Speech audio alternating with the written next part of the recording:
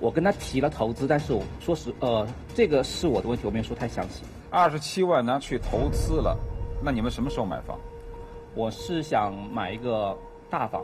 这样的回答你还满意吗？我比较难接受的是，他为什么不跟我说？就像他刚刚过来，大家也看到了，那么凶，对吧？他觉得好像我们把我们的家事暴露在就是现场观众面前，但是，那你当时为什么不能清清白白的？涂老师，你觉得吗？他开始跟我说就好了，我要给你一个惊喜。惊喜需要时间，好不好？不是说今天准备，明天真的有惊喜。你买房那么容易吗？那你开始跟我好好说，你跟我商量，你一夜之间把这个钱取没了，那我怎么想？我觉得很我真的不知道那笔钱对你那么重要，我只是在充分利用资金而已。而且刚刚你也没有听到嘉宾们都在那里说说你有其他女人啊，而且刚刚所以我就说你我就说你不知所谓。你说那些话我都不明白，我好好一个怎么变成那个样子了？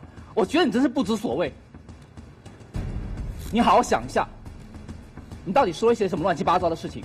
那人家我看到家现在被你人家说成什么看到样子了人家看到你跟你妈还有另外一个人，你们三个人一起吃饭是怎么回事呢？我跟你说过，你当时说你当时说过你不会再去见相亲对象的，我我没有说过不给你见相亲对象，但是我绝对没有东西乱搞，这我跟你说过。